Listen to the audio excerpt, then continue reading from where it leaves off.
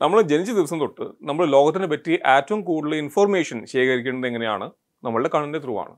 അപ്പോൾ ഇന്ന് നമ്മൾ കണ്ണുകളുടെ പറ്റി ഐയുടെ പറ്റിയും ഈ കളർഫുൾ വേൾഡ് നമ്മൾ എങ്ങനെയാണ് ഈ കണ്ണുകളുടെ ത്രൂ കാണുന്നതിനെ പറ്റി ആണ് പഠിക്കാൻ പോകുന്നത് നമ്മൾക്ക് ഫസ്റ്റ് ഓഫ് ഓൾ മനസ്സിലാക്കാം നമ്മളുടെ ഈ കണ്ണ് എന്താണ് exactly what is the human eye അപ്പോൾ ഡെഫിനേഷൻ എന്താണ്? The eye is are organ of vision it can be imagined as a camera that has a lens and aperture and an image forming screen അപ്പോൾ നമ്മളുടെ കണ്ണുകൾ എന്താണ് ഒരു തരം biological ക്യാമറയാണ് അപ്പോൾ നിങ്ങൾ ഏത് തരം ക്യാമറ യൂസ് ചെയ്യുകയാണെങ്കിലും അതിൽ ചില പാർട്സ് കോമൺ ഉണ്ടാവും. എല്ലാ ക്യാമറയ്ക്കും ഒരു ലെൻസ് ഉണ്ടാവും. എല്ലാ ക്യാമറയ്ക്കും ഒരു ആപ്പർച്ചർ ഉണ്ടാവും. എല്ലാ ക്യാമറയിലും ഇമേജ് ഫോം ആവുന്ന ഒരു സ്ക്രീൻ ഉണ്ടാവും.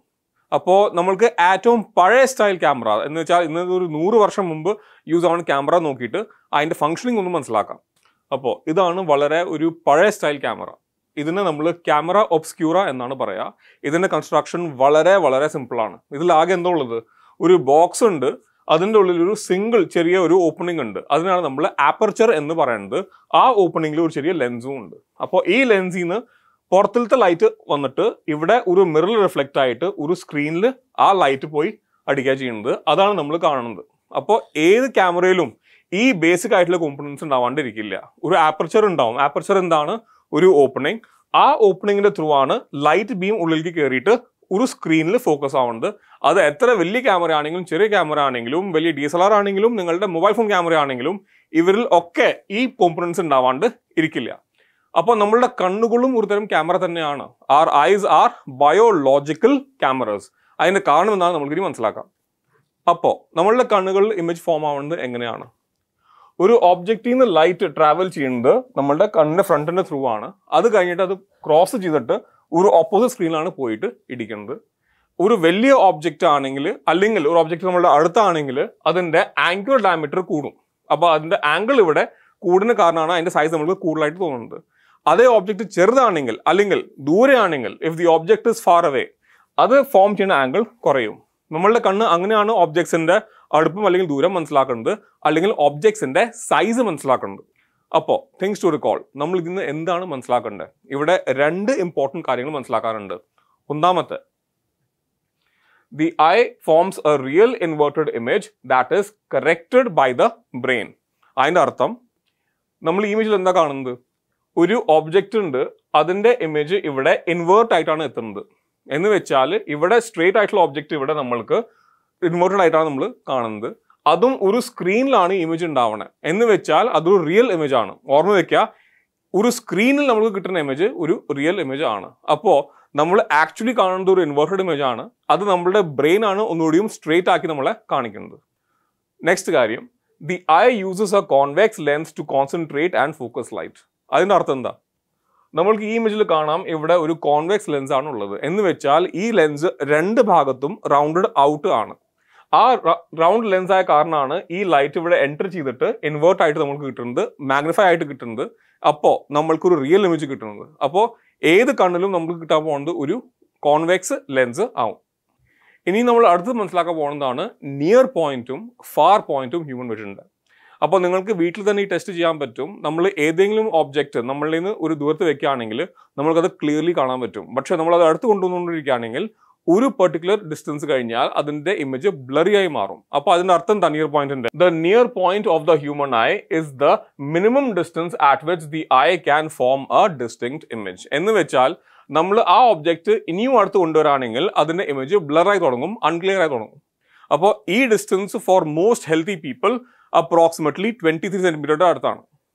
അടുത്ത കാര്യം. The far point of the eye is the maximum distance at which the eye can form a distinct image എന്ന് വെച്ചാൽ നമ്മളുടെ കണ്ണുകൾക്ക് ആറ്റവും ഡിസ്റ്റൻസിൽ എങ്ങനെയാണ് ഒരു ഡിസ്റ്റിങ് ഇമേജ് ഉണ്ടാക്കാൻ പറ്റുന്നത് ഒരു ക്ലിയർ ഇമേജ് ഉണ്ടാക്കാൻ പറ്റുന്നത് അതാണ് നമ്മളുടെ ഫാർ പോയിന്റ് ഒരു നോർമൽ ഹ്യൂമൻ ആയിട്ട് ഫാർ പോയിന്റ് ഇൻഫിനിറ്റിയിലാണ് എന്ന് വെച്ചാൽ വളരെ ദൂരമായിട്ടുള്ള ഒരു ഒബ്ജക്റ്റും നമുക്ക് ഫോക്കസ് ആയിട്ട് കാണാൻ പറ്റും. അതിന്റെ സൈസ് ചെറുതായിക്കൊണ്ടിരിക്കും പക്ഷെ അത് ഫോക്കസിൽ ക്ലിയർ ആയിട്ട് നമുക്ക് കാണാൻ പറ്റും. നമ്മൾ ഇനി അടുത്ത് പഠിക്കാൻ പോകുന്നതാണ് defects of the human eye ആറ്റു ആദ്യമാണ് മയോപ്പിയ അപ്പോൾ മോസ്റ്റ് ഹ്യൂമൻസിനെ നോർമൽ ആയിട്ടുള്ള ഐസായിട്ട് കിട്ടിയിട്ടുണ്ട്. പക്ഷെ നമ്മൾക്ക് ചിലർക്ക് എക്സാക്ട് ആക്യുറേറ്റ് ആയിട്ടുള്ള ഐസൈറ്റ് ഉണ്ടാവില്ല എന്ന് വെച്ചാൽ we will have defects in our vision for example എനിക്ക് ഗ്ലാസ് ഇടേണ്ട ആവശ്യമുണ്ട്. കാരണം എന്താ? എനിക്ക് ദൂരമായിട്ടുള്ള ഒബ്ജക്ട്സ് കാണാൻ എനിക്ക് പറ്റില്ല. അപ്പോൾ I suffer from myopia myopia എന്താണ്? നിയർ സൈറ്റഡ്നെസ് എനിക്ക് അടുത്തായിട്ടിരിക്കുന്ന സാധനങ്ങൾ മാത്രമേ പ്രോപ്പറായിട്ട് കാണാൻ പറ്റുള്ളൂ. അതിന്റെ കാരണം എന്താണ്? ഒരു മയോപ്പിക് ആയിട്ടുള്ള മനുഷ്യന്റെ കണ്ണിലത്തെ ലെൻസ് വളരെ റൗണ്ട് ആവും. അതിന്റെ റൗണ്ട്നെസ് കാണും കൂടുതലാവും. അപ്പോൾ ഒരു ലെൻസിന്റെ റൗണ്ട്സ് എത്ര കൂടുന്നു? ആ ലൈറ്റ് അത്ര അടുത്താണ് അതിന്റെ ഫോക്കസ് ആവുന്നത്. അപ്പോൾ ഈ കേസിൽ ലെൻസിന്റെ റൗണ്ടിങ് കൂടിയ കാരണം കൂടുതൽ കോൺവെക്സ് ആയ കാരണം എന്തുണ്ടാവണു ഈ ലൈറ്റ് വരുന്നത് റെറ്റിനയിലല്ല ഫോക്കസ് ആവണേ. റെറ്റിനയുടെ മുമ്പ് തന്നെ അത് ഫോക്കസ് ആയി കഴിയുക ചെയ്യുന്നത്. അത് കാരണം ഇവിടെ ഒരു ക്ലിയർ ആയിട്ടുള്ള ഇമേജ് റെറ്റിനയിൽ നമ്മൾക്ക് കിട്ടില്ല. അപ്പോൾ ഇങ്ങനത്തെ കേസിൽ നമ്മൾക്ക് ഇത് കറക്ഷൻ ചെയ്യുന്നത് എങ്ങനെയാണ്? നമ്മൾക്ക് എങ്ങനെയെങ്കിലും ഈ ലെൻസിന്റെ ഫോക്കൽ ലെങ്ത് കൂട്ടണം. അത് കൂട്ടണമെങ്കിൽ നമ്മൾ എന്ത് ചെയ്യുന്നു? നമ്മളൊരു കോൺകേവ് ലെൻസ് യൂസ് ചെയ്യുക ചെയ്യുന്നത്. അപ്പോൾ ഈ കേസിൽ ഒരു കോൺകേവ് ലെൻസ് ഇല്ല. അപ്പോൾ ഇവിടെ ലൈറ്റ് ഫോക്കസ് ആവേണ്ടത് റെറ്റിനയിലല്ല അപ്പോൾ ഈ ഡിസ്റ്റൻസ് ലെൻസിന്റെ വളരെ അടുത്താണ്. പക്ഷേ നമ്മളൊരു കോൺകേവ് ലെൻസ് ഇവിടെ ഇട്ട് കഴിഞ്ഞാൽ അതിന്റെ കാരണം എന്തുണ്ടാവണം ഫോക്കൽ ലെങ്ത് കൂടിപ്പോയി. അത് കാരണം നമുക്ക് പ്രോപ്പർ ആയിട്ടുള്ള ഇമേജ് കിട്ടുന്നത് എവിടെയാണ്? നമ്മളുടെ റെറ്റിനയിലാണ് അപ്പോൾ നമുക്ക് എന്താ കോൾ ചെയ്യാനുള്ളത്? Myopic eye has a lens with too much curvature. Focusing light to near the lens and not on the retina ഒരു മയോപ്പിക് കണ്ണിന്റെ കേസിൽ നമ്മളുടെ ലെൻസിന്റെ കർവച്ചർ കൂടിയ കാരണം ആ ലൈറ്റ് വളരെ വളരെ ലെൻസിന്റെ അടുത്താണ് ഫോക്കസ് ആവുന്നത്. അത് കാരണം റെറ്റിനിൽ നമുക്ക് ക്ലിയർ ആയിട്ടുള്ള ഇമേജ് കിട്ടില്ല. സെക്കൻഡ് കാര്യം the focal length of a myopic eye can be corrected with a concave lens എന്ന് വെച്ചാൽ നമ്മൾക്ക് ഒരു മയോപ്പിക് ആയിട്ടുള്ള കണ്ണിന്റെ കേസിൽ ലെൻസിന്റെ ഫോക്കൽ ലെങ്ത് കൂട്ടേണ്ട ആവശ്യമുണ്ട്. അത് കൂട്ടുന്നത് നമ്മൾ എങ്ങനെയാണ്? By using a concave lens അപ്പോൾ നമ്മൾ ഇപ്പോൾ ഡിസ്കസ് ചെയ്തത് എന്താണ്? മയോപ്പിയ. ഒരു മയോപ്പിയ ഉള്ള മനുഷ്യനെ അടുത്ത സാധനങ്ങൾ കാണാൻ പറ്റുള്ളൂ? ദൂരമുള്ള സാധനങ്ങൾ ക്ലിയർലി കാണാൻ പറ്റില്ല. ഓൺ ദി അതർ ഹാൻഡ് ചിലവർക്ക് ഹൈപ്പറോപ്പിയ അല്ലെങ്കിൽ ഹൈപ്പർ മെട്രോപ്പിയ എന്നൊരു അസു- അസുഖവും ഉണ്ടാവാം. ആ കേസിൽ അവർക്ക് ദൂരമുള്ള സാധനങ്ങൾ നന്നായിട്ട് കാണാൻ പറ്റും. പക്ഷേ അടുത്തുള്ള സാധനങ്ങൾ അവർക്ക് ഡിസ്റ്റിങ്റ്റ് ആവില്ല. അത് ബ്ലേഡ് ആവും. അതിന്റെ കാരണം എന്താ നമുക്ക് മനസ്സിലാക്കാം. ഒരു ഹൈപ്പറോപ്പിയ ഉള്ള കണ്ണിന്റെ കേസിൽ നമ്മളുടെ ഇമേജ് ഫോം ആവേണ്ട റെറ്റിനയിലല്ല റെറ്റിനയുടെ പിന്നിലാണ്. റെറ്റിനയുടെ പിന്നിലായ കാരണം എന്താ? നമുക്ക് ഇമേജ് ഡിസ്റ്റിങ്ക്റ്റ് ആയിട്ട് റെറ്റിനയിൽ കിട്ടണില്ല. അതിന് കാരണം എന്താണ്? അവരുടെ കേസിൽ നമ്മളുടെ ലെൻസ് വളരെ വളരെ ഫ്ലാറ്റ് ആണ് തെന്നാണ് മയോപ്പിയയുടെ കേസിൽ നമ്മളുടെ ലെൻസ് വളരെ റൗണ്ടഡ് ആണ്. പക്ഷെ ഹൈപ്രോപ്പിയയുടെ കേസിൽ ലെൻസ് വളരെ വളരെ ഫ്ലാറ്റ് ആണ്. അത് കാരണം നമ്മളുടെ ഫോക്കൽ ലെങ്ത് വളരെ കൂടിയ കാരണം ഇമേജ് ഫോം ആവേണ്ട റെറ്റിനയുടെ പിന്നിലാണ്.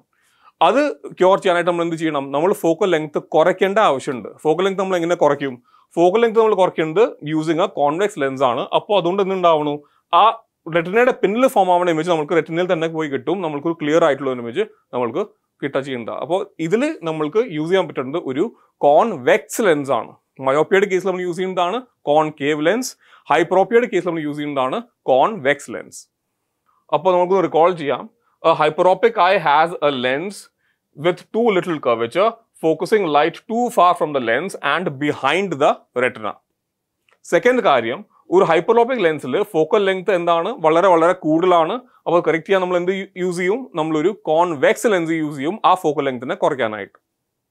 നാ ഈ രണ്ട് കേസസ് ഹൈപ്പറോപ്പിയ മയോപ്പിയ ഏത് ഏജ് ഗ്രൂപ്പിലും ഉണ്ടാവാം. അപ്പോൾ യങ് ആൾക്കാർക്കും അത് ഉണ്ടാവാം ഓൾഡ് ആൾക്കാർക്കും അത് ഉണ്ടാവാം. പക്ഷേ പ്രസ്ബിയോപ്പിയ എന്ന് പറയുന്ന പ്രശ്നം നോർമലി ഓൾഡ് ഏജിലാണ് നമ്മൾക്ക് ഉണ്ടാവുന്നത്. നമ്മൾക്ക് ഏജ് കൂടുമ്പോൾ ഉണ്ടാവണോ നമ്മളുടെ ബോഡീസ് ബ്രേക്ക് ഡൗൺ ചെയ്യാണ് ചെയ്യുന്നത്. അപ്പോൾ ലെൻസിന്റെ സ്ട്രെങ്ത് കുറയും ലെൻസിന്റെ ഫ്ലെക്സിബിലിറ്റി കുറയും. അതുപോലെ തന്നെ നമ്മളുടെ കണ്ണിന്റെ ഉള്ളിലുള്ള മസിൽസ് സിലിയറി മസിൽസും വീക്കായി തുടങ്ങും. അപ്പോൾ ഈ കാരണം കൊണ്ട് എന്തുണ്ടാവണു? അടുത്തുള്ള ഒബ്ജക്ട്സ് നമ്മൾക്ക് ശരിക്കും ഫോക്കസ് ചെയ്യാൻ പറ്റില്ല. അപ്പോൾ അതുകൊണ്ട് ഉണ്ടാവുന്ന നമ്മളുടെ വിഷൻ പ്രോബ്ലം നമ്മൾ എന്താ പറയുക പ്രസ് ബയോപ്പിയ അപ്പോൾ പ്രസ് ബയോപ്പിയ കണക്ട് കറക്ഷൻ ചെയ്യണമെങ്കിൽ നമ്മൾ എന്ത് ചെയ്യേണ്ടി വരും? നമ്മൾക്ക് രണ്ട് കേസിലും നമുക്ക് ലെൻസ് ആവശ്യമുണ്ട്. ദൂരത്തേക്കും അടുത്തേക്കും. അപ്പോൾ നമ്മൾ ബൈഫോക്കൽ ലെൻസ് ആണ് യൂസ് ചെയ്യുന്നത്. ബൈഫോക്കൽ ലെൻസിൽ മുകളിലത്തെ സെക്ഷൻ കോൺകേവ് ആണ് താഴത്തെ സെക്ഷൻ കോൺവെക്സ് ആണ്. അപ്പോൾ നമ്മൾക്ക് റീഡിങ്ങിനായിട്ട് ഒരു സെക്ഷൻ യൂസ് ചെയ്യാൻ പറ്റും ദൂരക്കായിട്ടും മറ്റൊരു സെക്ഷൻ യൂസ് ചെയ്യാൻ പറ്റും. അപ്പോൾ നമുക്ക് റിക്കോൾ ചെയ്യാം. A presbyopic eye has a lens supported by weak ciliary muscles focusing light differently. The focal length of a presbyopic eye can be corrected using bifocal lenses ഒരു last topic നമ്മൾ cover ചെയ്യാൻ പോകുന്നതാണ് refraction through A prism അപ്പോൾ ഒരു prism എന്താണ്? A prism is a device made from a transparent material എന്ന് വെച്ചാൽ ഈ മെറ്റീരിയൽ ഗ്ലാസ്സും ആവാം ആക്രിക് പ്ലാസ്റ്റിക്കും ആവാം നമ്മൾക്ക് ഏത് ട്രാൻസ്പെറന്റ് മെറ്റീരിയലിൽ നിന്നും നമുക്ക് പ്രിസം ഉണ്ടാക്കാൻ പറ്റും? ഈ കേസിൽ ഈ പ്രിസമിന് മൂന്ന് സൈഡാണുള്ളത് and all sides have the same angle അപ്പോൾ അറുപത് ഡിഗ്രി സിക്സ്റ്റി ഡിഗ്രി ആംഗിൾ ആണ് ഈ മൂന്ന് സൈഡ്സിനും ഉള്ളത്. ഒരു പ്രിസമിന്റെ കേസിൽ എന്തുണ്ടാവണമെന്ന് വെച്ചാൽ ലൈറ്റ് ഹിറ്റ് ചെയ്യുന്നത് ബെൻഡ് ആവുക ചെയ്യുന്നത് ഡ്യൂ ടു റീഫ്രാക്ഷൻ ഈ റീഫ്രാക്ഷനിൽ എന്തുണ്ടാവണു ഈ ഡിഫറെന്റ് കളേഴ്സിന്റെ ബെൻഡിങ് ഡിഫറെന്റ് ആണ്. കാരണം നമ്മൾ നോർമൽ ആയിട്ട് വൈറ്റ് ലൈറ്റ് കാണുന്നത് ഒരു സിംഗിൾ കളർ അല്ല. വൈറ്റ് ലൈറ്റ് എന്താണ്? അതൊരു മിക്സ്ചർ ആണ്. It is a mixture of many colours each colour has a different refractive index അപ്പോൾ അതിന്റെ ബെൻഡിങ്ങും ഡിഫറെന്റ് ആവും. ഈ ഡിഫറെന്റ് ബെൻഡിങ് ആയി കാണുന്നത് ഉണ്ടാവുന്നു ഇവിടെ വൈറ്റ് ആയിട്ട് എൻട്രി ചെയ്തിട്ടുള്ള ലൈറ്റ് അതിന്റെ കളേഴ്സിലേക്ക് പൊട്ടി ചിത്ര ചെയ്യുന്നത്. It is dividing in towards constituent colours അപ്പോൾ ഇവിടെ വിബിയോ റൂൾ നമ്മൾ യൂസ് ചെയ്താൽ മതി. Violet indigo blue green yellow ഓറഞ്ചും റെഡും ഏറ്റവും കുറവ് ബെൻഡ് ആവേണ്ടത് എന്താണ്? റെഡ് ലൈറ്റ് ആണ്. ഏറ്റവും കൂടുതൽ ബെൻഡ് ആവേണ്ടത് എന്താണ്? വയലറ്റ് ലൈറ്റ് ആണ്. അപ്പോൾ നമ്മൾക്ക് ഇതൊന്ന് റിഫ്രഷ് ചെയ്യാം. A prism has three planes oriented at 60 degrees to each other, and a prism causes the light entering to deviate from its original path. So നമ്മൾ ഇവിടെ ഹ്യൂമൺ ആൻഡ് കളർഫുൾ വേൾഡ് ചാപ്റ്ററിൽ നിന്ന് revise ചെയ്തു for the exams We hope to see you again here at Manorama Horizon. Thank you. Manorama Horizon Learning Made Simple.